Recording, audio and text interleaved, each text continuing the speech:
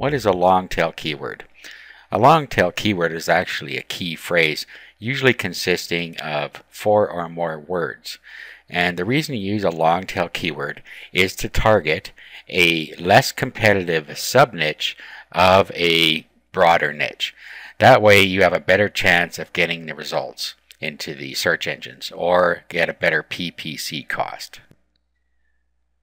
Now there are several tools you can use to help you find long tail keywords.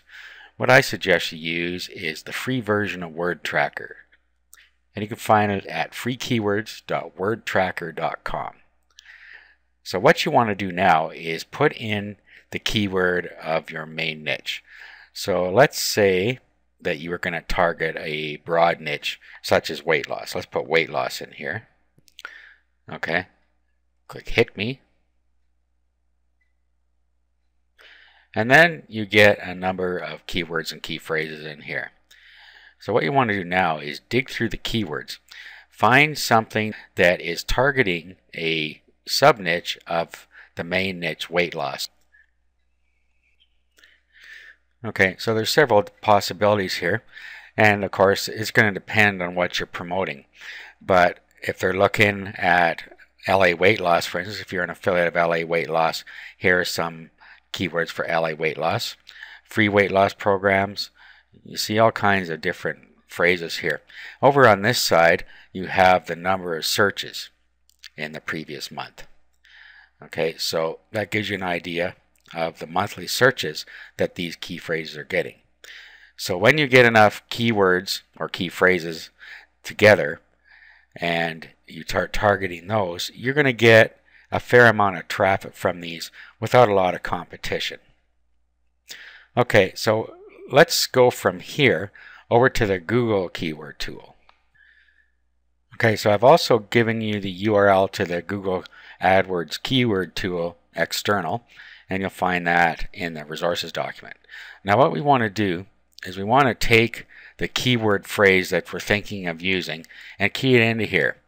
So let's go and say we're going to do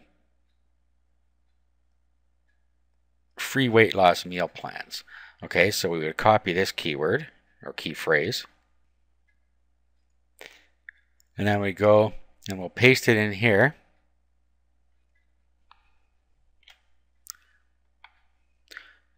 Okay, and then what we'll do is you key in the CAPTCHA code down here. Then click Get Keyword Ideas and you come up with a set of other keywords. And what you see over here is the advertising competition. So you see free weight loss meal plans is very high advertiser competition. Okay, so we can look down and see if there's anything related to this that has less. Okay, so we have average here. This is free quick weight loss plans. Okay, so this would be an alternate long tail keyword we could use. Free diet and weight loss plans. Okay, so you can go here, find less competitive keywords as far as advertising competition is concerned. And this is only if you are going to use AdWords because this is going to give you a lower cost. Now, if you're going to use the key phrase as a search engine optimization tool, in other words, you're going to create a blog or something, and you're going to optimize your blog or the articles around that keyword. You might want to do something a little different. What I would do then is I would just go to google.com and do a regular search. Okay, then just paste your keyword phrase in here. Put it in, in quotes like this.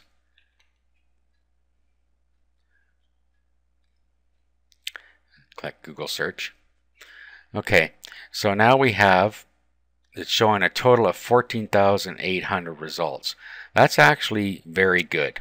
What you're going to look for here is something around 15,000 or under would be a good one to target. So if you're looking for something to use as a search optimization keyword, this would be a good one because there's not a lot of competition. So depending on what you're going to do, that will determine which method you're going to use here.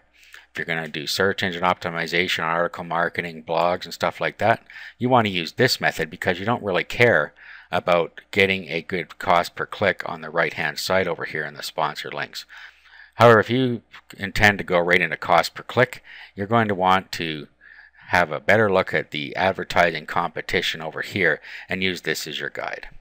Okay, so that's going to give you a good idea of how to find some great long tail keywords to use in your advertising efforts.